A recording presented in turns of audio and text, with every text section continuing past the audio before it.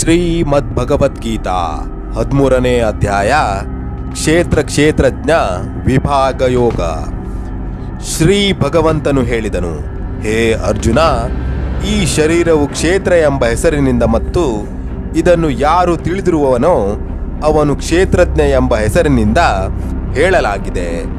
ಅವುಗಳ ತತ್ವವನ್ನು ಅರಿತಿರುವ ಜ್ಞಾನಿಗಳು ಹೀಗೆ ತಿಳಿಸುತ್ತಾರೆ, ಹೇ ಅರ್ಜುನ ನೀನು ಎಲ್ಲ ಕ್ಷೇತ್ರಗಳಲ್ಲಿ ಕ್ಷೇತ್ರಜ್ಞ ಅರ್ಥಾತ್ ಜೀವಾತ್ಮನು ಸಹ ನಾನೆಂದೇ ತಿಳಿ. ಮತ್ತು ಕ್ಷೇತ್ರ ಕ್ಷೇತ್ರಜ್ಞನ ಅರ್ಥಾತ್ ವಿಕಾರಸಹಿತ ಪ್ರಕೃತಿಯ ಮತ್ತು ಪುರುಷನನ್ನು ಯಾವುದು ತತ್ವದಿಂದ ತಿಳಿಯುವುದಾಗಿದೆಯೋ ಅದು ಜ್ಞಾನವಾಗಿದೆ ಎಂಬುದೇ ನನ್ನ ಮತವಾಗಿದೆ.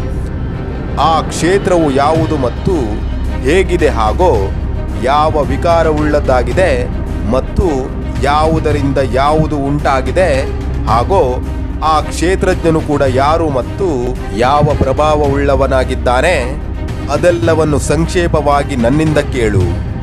ಈ ಕ್ಷೇತ್ರ ಮತ್ತು ಕ್ಷೇತ್ರಜ್ಞನ ತತ್ವವು ಋಷಿಗಳ ಮೂಲಕ ಅನೇಕ ಪ್ರಕಾರಗಳಿಂದ ಹೇಳಲ್ಪಟ್ಟಿದೆ ಮತ್ತು ವಿವಿಧ ವೇದ ಮಂತ್ರಗಳ ಮೂಲಕವೂ ವಿಭಾಗಪೂರ್ವಕವಾಗಿ ಹೇಳಲಾಗಿದೆ. ಹಾಗೆಯೇ ಚೆನ್ನಾಗಿ ನಿಶ್ಚಯಿಸಲ್ಪಟ್ಟು ಯುಕ್ತಿಯುಕ್ತವಾದ ಬ್ರಹ್ಮಸೂತ್ರದ ಪದಗಳ ಮೂಲಕವೂ ಹೇಳಲಾಗಿದೆ. ಐದು ಮಹಾಭೂತಗಳು, ಅಹಂಕಾರ, ಬುದ್ಧಿ ಮತ್ತು ಮೂಲ ಪ್ರಕೃತಿ ಕೂಡ ಹಾಗೂ ಹತ್ತು ಇಂದ್ರಿಯಗಳು, ಒಂದು ಮನಸ್ಸು ಮತ್ತು ಐದು ಇಂದ್ರಿಯಗಳ ವಿಷಯಗಳು, ಅರ್ಥಾತ್ ಶಬ್ದ, ಸ್ಪರ್ಶ, ರೂಪ, ರಸ ಮತ್ತು ಗಂಧ ಹಾಗೂ ಇಚ್ಛೆ, ದ್ವೇಷ, ಸುಖ, ದುಃಖ, ಸ್ಥೂಲ, ದೇಹದ ಪಿಂಡ, ಚೈತನ್ಯ ಮತ್ತು ಧೃತಿ ಈ ಪ್ರಕಾರವಾಗಿ ವಿಕಾರಗಳ ಸಹಿತ ಈ ಕ್ಷೇತ್ರವನ್ನು ಸಂಕ್ಷೇಪವಾಗಿ ಹೇಳಲಾಗಿದೆ. ಶ್ರೇಷ್ಠತೆಯ ಅಭಿಮಾನದ ಅಭಾವ, ಡಂಬಾಚಾರದ ಅಭಾವ, ಯಾವುದೇ ಪ್ರಾಣಿಯನ್ನು ಯಾವ ರೀತಿಯಲ್ಲಿಯೂ ಹಿಂಸಿಸದಿರುವುದು ಕ್ಷಮಾಗುಣ, ಮನಸ್ಸು ವಾಣಿ ಮೊದಲಾದವುಗಳ ಸರಳತೆ, ಶ್ರದ್ಧಾಭಕ್ತಿ ಸಹಿತ ಗುರುಗಳ ಸೇವೆ, ಹೊರಗೊಳಗಿನ ಶುದ್ಧಿ ಅತಃಕರಣದ ಸ್ಥಿರತೆ ಮತ್ತು ಮನಸ್ಸು ಇಂದ್ರಿಯಗಳ ಸಹಿತ ಶರೀರದ ನಿಗ್ರಹ, ಈ ಲೋಕ ಮತ್ತು ಪರಲೋಕದ ಸಂಪೂರ್ಣವಾದ ಭೋಗಗಳಲ್ಲಿ ಆಸಕ್ತಿಯ ಅಭಾವ ಮತ್ತು ಅಹಂಕಾರವು ಕೂಡ ಇಲ್ಲದಿರುವುದು. ಜನ್ಮ, ಮೃತ್ಯು, ಜರ ಮತ್ತು ರೋಗ ಮುಂತಾದವುಗಳಲ್ಲಿ ದುಃಖ ಮತ್ತು ದೋಷಗಳನ್ನು ಪದೇ ಪದೇ ವಿಚಾರ ಮಾಡುವುದು.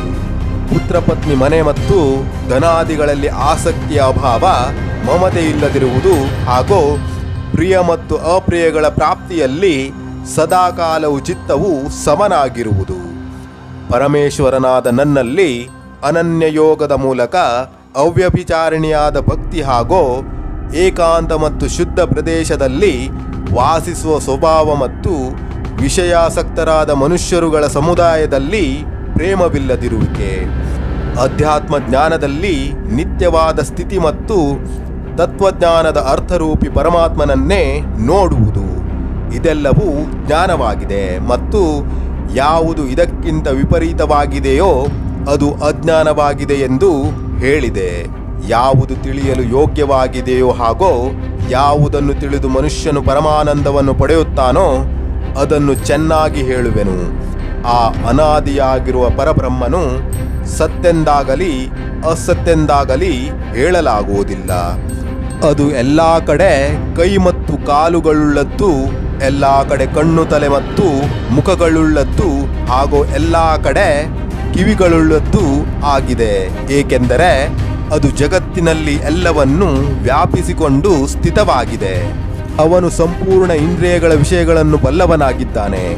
ಆದರೆ ವಾಸ್ತವವಾಗಿ ಎಲ್ಲ ಇಂದ್ರಿಯಗಳಿಂದ ರಹಿತನಾಗಿದ್ದಾನೆ. ಹಾಗೆ ಆಸಕ್ತಿ ರಹಿತನಾದರೂ ಸಹ ಎಲ್ಲವನ್ನು ಧರಿಸಿ ಪೋಷಿಸುವವನು ಮತ್ತು ನಿರ್ಗುಣನಾಗಿದ್ದರೂ ಗುಣಗಳ ಭೋಕ್ತೃವಾಗಿದ್ದಾನೆ. ಅವನು ಎಲ್ಲ ಚರಾಚರ ಪ್ರಾಣಿಗಳ ಹೊರಗೊಳಗೆ ಪರಿಪೂರ್ಣನಾಗಿದ್ದಾನೆ ಮತ್ತು ಚರಾಚರ ರೂಪಿಯೂ ಸಹ ಅವನೇ ಆಗಿದ್ದಾನೆ ಮತ್ತು ಅವನು ಸೂಕ್ಷ್ಮನಾಗಿರುವುದರಿಂದ ಅವಿಜ್ಞೇಯನಾಗಿದ್ದಾನೆ. ಹಾಗೂ ಅತಿ ಸಮೀಪದಲ್ಲಿ ಮತ್ತು ದೂರದಲ್ಲಿಯೂ ಇರುವವನು ಅವನೇ ಆಗಿದ್ದಾನೆ. ಆ ಪರಮಾತ್ಮನು ವಿಭಾಗರಹಿತನಾಗಿ ಏಕರೂಪದಿಂದ ಆಕಾಶದಂತೆ ಪರಿಪೂರ್ಣನಾದರೂ ಕೂಡ ಚರಾಚರ ಸಮಸ್ತ ಪ್ರಾಣಿಗಳಲ್ಲಿ ವಿಭಕ್ತನಾದಂತೆ ಸ್ಥಿತನಾಗಿ ತೋರುತ್ತಾನೆ. ಹಾಗೂ ಹಾಗೂ ಆ ತಿಳಿಯಲು ಯೋಗ್ಯನಾದ ಪರಮಾತ್ಮನು ವಿಷ್ಣು ರೂಪದಿಂದ ಪ್ರಾಣಿಗಳನ್ನು ಧಾರಣೆ ಪೋಷಣೆ ಮಾಡುವವನು, ಪೋಷಿಸುವವನು ಮತ್ತು ರುದ್ರ ರೂಪದಿಂದ ಸಂಹಾರ ಮಾಡುವವನು ಹಾಗೂ ಬ್ರಹ್ಮನ ರೂಪದಿಂದ ಎಲ್ಲರನ್ನು ಸೃಷ್ಟಿ ಮಾಡುವವನು ಆಗಿದ್ದಾನೆ. ಆ ಪರಬ್ರಹ್ಮವು ಜ್ಯೋತಿಗಳಿಗೂ ಕೂಡ ಜ್ಯೋತಿಯು ಮತ್ತು ಮಾಯೆಗಿಂತ ಅತೀತವು. ಬೋಧ ಸ್ವರೂಪವು ತಿಳಿಯಲು ಯೋಗ್ಯವು ಹಾಗೂ ತತ್ವಜ್ಞಾನದಿಂದ ಪಡೆಯಲು ಯೋಗ್ಯವು ಮತ್ತು ಎಲ್ಲರ ಹೃದಯದಲ್ಲಿ ವಿಶೇಷ ರೂಪದಿಂದ ಸ್ಥಿತವೆಂದು ಹೇಳಲಾಗುತ್ತದೆ.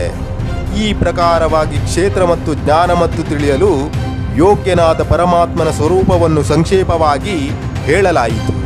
ನನ್ನ ಭಕ್ತನು ಇದನ್ನು ತತ್ವಶಃ ತಿಳಿದುಕೊಂಡು ನನ್ನ ಸ್ವರೂಪವನ್ನು ಪಡೆಯುತ್ತಾನೆ.